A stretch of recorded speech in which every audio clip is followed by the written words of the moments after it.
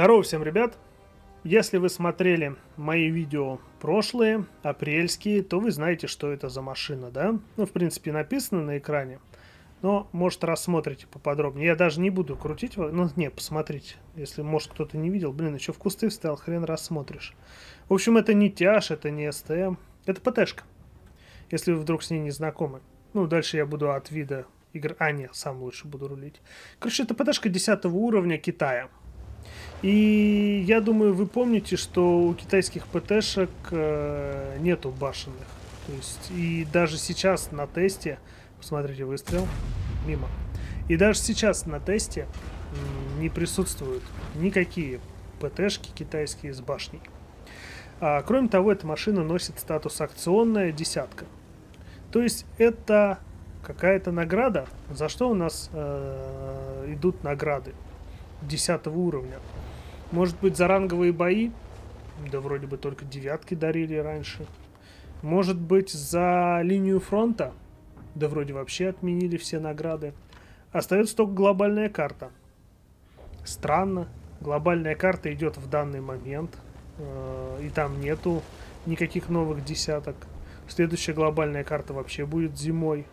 А первый раз э, эту ПТХу вот уже в законченном виде, как вы сейчас смотрите, выкатывали еще в апреле. И я тогда ее поймал в рандоме, точнее, мне подписчики скинули эту машину.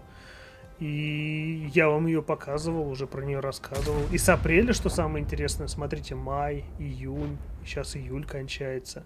Три месяца с половиной даже. Ее активно катают, мне постоянно присылают с ней реплеи. То есть все три месяца э, супертестеры откладывают какие-то свои остальные танки, там, карты и так далее – и гоняют на этой машине. Если еще посмотреть в уши команд, видно, что тут взвод с э, кем-то из клана ВГБ. Вот, и мне непонятно, что это, куда эта машина пойдет. Потому что сейчас, в данный момент, э, у нас э, только день рождения танков на носу, но я не помню, что там были какие-нибудь когда-нибудь ивенты. В том году-то ждали объект 780 на 10 лет танков, нифига не было. И он, кстати, у нас все еще оттестированный, лежит в игре, нигде не применяется. И тут вот эту вот ПТХу тестируют. И, ребят, ладно бы ПТХ была нормальная, но так танк-то шлак. Ну, объективно шлак, смотрите. Казалось бы, вот думаете, что игрок дурак, стоит весь бой э, в кустах, играть не умеет? Не, ПТХи брони нету. Вот в корпусе у нее 75 миллиметров, и ВЛД, и НЛД. Ну что это такое на 10 уровне, да? Башня 135 в самом толстом месте. На 10 уровне ни о чем. Пуха приятная, тут базара нет, 16 э, лошадок почти на тонну удельная мощь. Ну ладно, после снаряжения, там тяга вооруженности у нее упадет до 15 лошадок на тонну. Но она едет, она шустрая, посмотрите, она динамичная. У нее вот эта вот огромная башня даже неплохо вращается. Ну не так, как у стэшек и тяжей, конечно, но вполне неплохо с учетом того, что у нее пуха стоит с альфой 650.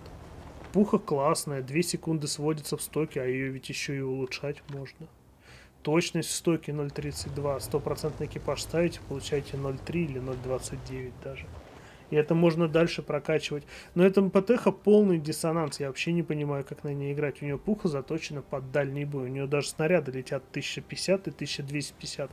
Здесь а, голдовый снаряд под калибр с пробитием 330, ну я округляю, там 329, и ББшка с пробитием 273, и альфы 650.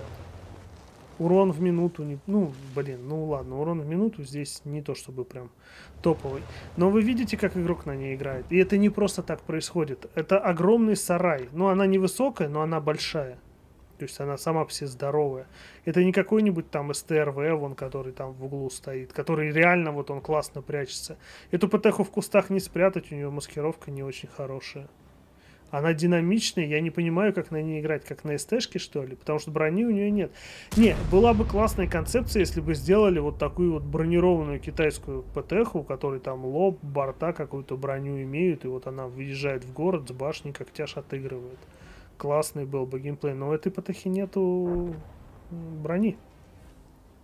И вот с таким геймплеем кустовым на танке, который после выстрела светится, я вообще не понимаю, что делать.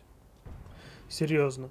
Альфа у нее не настолько грандиозная, даже у того же какого-нибудь 268 объекта альфа 750, здесь 650. мне тяжело понимать, вот для кого эта машина сделана. Вот видите, он вроде бы стрелял тут через двойные кусты, раз кусты, вот здесь там два кусты. Все равно засветился, его начинают дамажить. Причем э, часто замечаю, что при попадании в корпус этой ПТХи криты. То БК, то баки. То есть танк будет совсем не фонтан, и если это награда за какую-то активность, то эта активность уже обречена. Ладно, пока игроки не распробуют, они, сейчас те, кто давно играют, они любой новинки в игре рады. Но лично я, вот сколько насмотрелся на бои на этой ПТХе, я для себя точно сделал вывод. Не, я, конечно, коллекционер, я хочу ее себе в ангар, но я не уверен, что она будет у меня выезжать из ангара. В конечном итоге ее, возможно, апнут, но ощущение, что танк, ну, смотрите, выстрел, и она загорелась. Ощущение, что танк готовят чисто под Китай. Сейчас китайские танки апают активно, вводят новые премы в Китай. То есть разработчики нацелены как бы на китайский рынок. Ладно, такая вот машина. Спасибо, что смотрели. Ну, что-то интересное, может быть, я рассказал. Пока-пока.